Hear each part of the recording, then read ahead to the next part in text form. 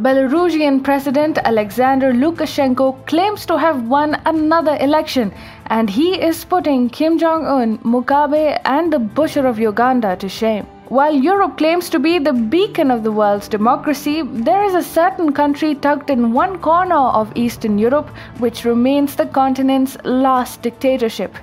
We are talking about Belarus, which has been governed by its president Alexander Lukashenko since 1994 when the country first went to polls after breaking out of the erstwhile USSR in the year 1991. Last week, Alexander Lukashenko declared himself the elected president of Belarus for a sixth straight term, and the rigged poll results have led to massive protests, but no one in the democratic world, from the US to the European Union, seems to care. Alexander Lukashenko has been leading his country like a textbook dictator with an iron grip. He holds periodic elections, and unsurprisingly, Lukashenko wins with a landslide margin every single time. Prior to the formation of Belarus and later the first presidential polls in 1994, Lukashenko served as the director of a collective farm in the erstwhile Soviet Union as well as the Soviet army. For Belarus, democracy was short lived as Alexander Lukashenko soon subsumed the entire state control in himself. After coming to power in 1994, the strongman Lukashenko gripped the Belarusian legislature, judiciary, and media. He remained in power by using the strong KGB espionage apparatus that Belarus succeeded from the erstwhile USSR. Moreover, he was able to avoid privatization due to cheap oil and gas supplies from Russia, allowing him to gain full control of state run enterprises. However, now Lukashenko is facing outrage within his own country after yet another botched up election result. Last week, the Belarusian president claimed to have secured 80.23% of the official vote, giving him a sixth term in power in Belarus. On the other hand, the opposition candidate Svetlana Svetlana Tikhanovskaya, who has now fled to Lithuania, secured only 9.9% of the official vote. Not that free and fair elections were expected in the first place with a dictator at the top, but the outrage against Lukashenko was widespread and worsened when the rigged polls results shocked everyone. The Belarusian president's apathetic approach to the COVID 19 pandemic had become a major poll issue as well. Apparently, Lukashenko's health advice get rid of the fear psychosis,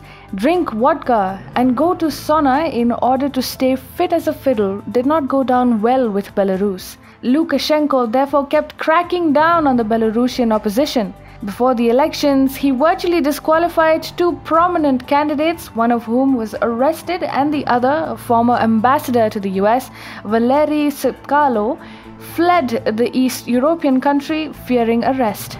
The main opposition candidate, Svetlana Tikhanovskaya, became Lukashenko's main challenger only after the other two prominent candidates were thrown out of the poll process.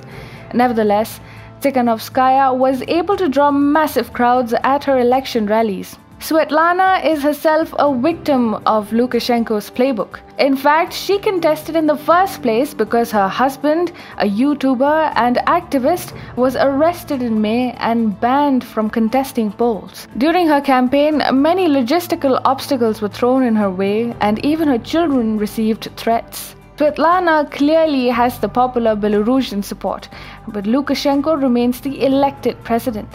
After the election results, Svetlana Tikhanovskaya declared, I consider myself the winner of this election. The vote count took place in complete lack of scrutiny without any observers, which has further fueled the anti Lukashenko sentiment. But later, she told her supporters not to participate in the mass protests that have since broken out or put their lives at risk. Hours after advising her supporters, she fled to Lithuania, seemingly due to the threat posed to her children.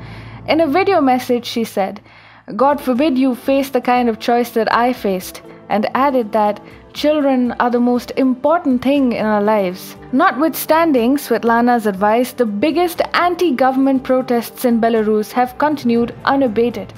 The police crackdown from the Lukashenko regime has been equally brutal. Eyewitness accounts quoted by BBC reveal that both men and women, including those who haven't even participated in protests, are being illegally detained in the Belarus capital, Minsk. Unsurprisingly, Lukashenko is denouncing protests on Belarusian streets as foreign funded puppets, and around 6,000 people have been reportedly rounded up by the police. Even the Belarusian state media has joined the general strike sweeping Belarus. Meanwhile, nobody in the democratic world seems to care. Neither the European Union nor the US seems to care about what is going on within Belarus. The EU itself strangely lifted sanctions on the Lukashenko regime in 2016, and today the Belarusian dictator keeps swinging between China and Russia.